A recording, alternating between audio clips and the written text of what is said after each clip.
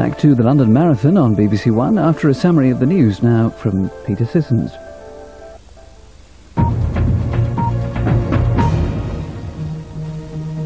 Good afternoon.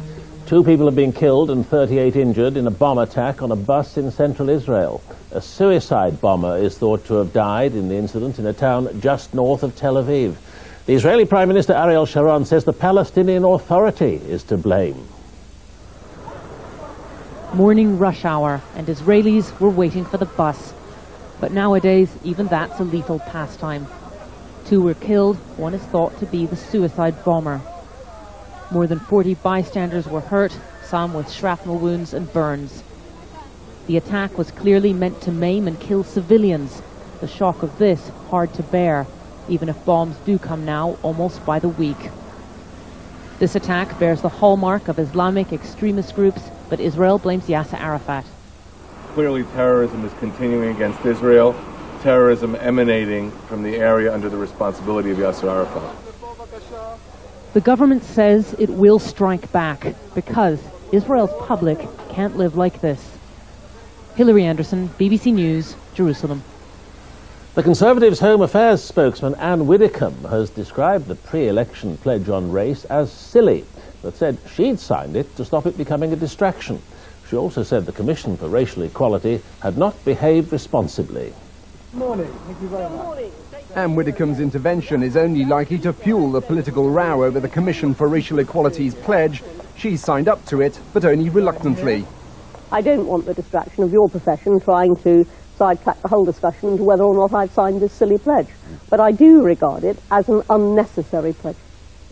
When he signed the compact with other leaders, William Hague says he was doing so on behalf of all his party. But it's backfired. The Tories are now accusing Labour and the CRE of using it to score political points rather than tackling racism. There's been a major deflection from discussing those issues to matters like uh, political parties squabbling with each other mm. to establish who is more or less racist than the other. Now, that is something which, which, frankly, I'm saddened by. Labour says it's only the Tory leader who has problems, but the government's own record on race is coming under fire too. Jonathan Beale, BBC News. Now boxing, and you can see the World Championship fight between Lennox Lewis and Hasim Rahman at 7 o'clock tonight on BBC One. So if you want to keep the surprise, get out of the room now. Okay, for the rest of us, the news is that Lennox Lewis suffered a defeat in the fifth round of his fight in South Africa, a result which is being seen as one of the most dramatic in the history of the sport. The fight was billed as Thunder in Africa, a contest Lennox Lewis couldn't lose and Britain's most successful heavyweight certainly looked the part.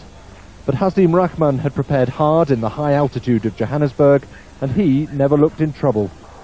One punch ended the fight.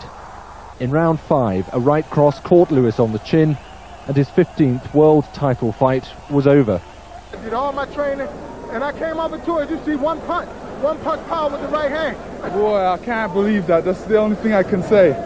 Um, you know, I got with a, a good shot, but boy, I, I didn't even see it, but I felt fine after. Lennox Lewis is guaranteed a rematch, but he may have to wait his turn for it. David Eades, BBC News, Johannesburg. As you've probably seen, more than 30,000 runners are taking part in the 21st London Marathon, which is still going on. But the winners have already crossed the line. The women's race has been won by Derartu Tulu, twice winner of the Olympic 10,000 metres. Abdelkader El Mouaziz of Morocco won the men's marathon, and Tanni Grey-Thompson has won the wheelchair race. That's it. There are news bulletins every hour on BBC News 24, but I'll be back with more news at 5.15 here on BBC One.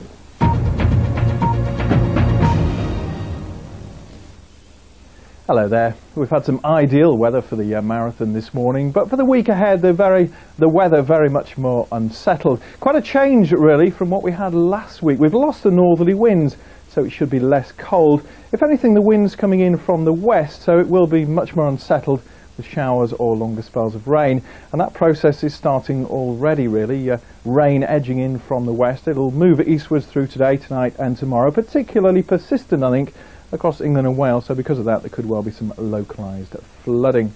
Let's see how that rain has gathered then through today. It's really across many western areas, but it is so very slow moving And that's really the, the problem because there could well be some localised flooding because it is so slow. You can see the trend through the next 24 hours or so is to take the rain gradually further and further eastwards, allowing some drier and brighter weather to uh, edge in from the west eventually.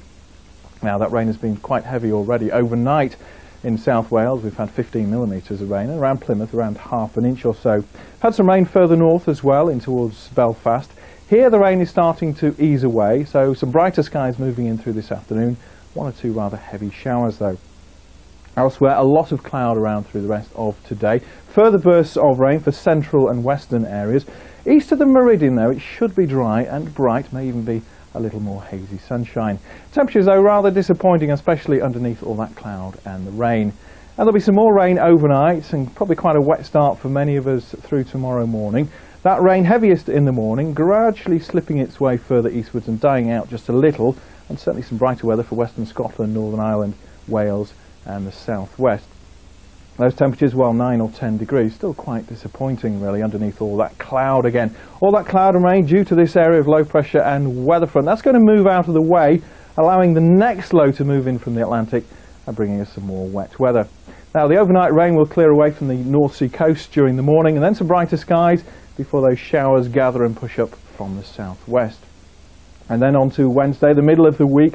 Well, there could well be some warm sunshine around and some places will stay dry. But through the day, those showers will develop, some heavy and possibly thundery. Temperatures again on Thursday up to 13 or 14. A quieter day, fewer showers. Most places probably will stay dry. But we end the week on a wet note. Rain coming in from the west. Temperatures near normal. Goodbye. You're invited to a star-studded party on Saturday night with special guests Anastacia, Jimmy Nail and Geri Halliwell. It's raining men. Plus the National Lottery, Thunderball and Lottery Extra Draws live. We've got the biggest stars and the best music. Welcome to the party. Make a date with Dale Winton for the new series, The National Lottery Stars. Saturday at 7.45 on BBC One.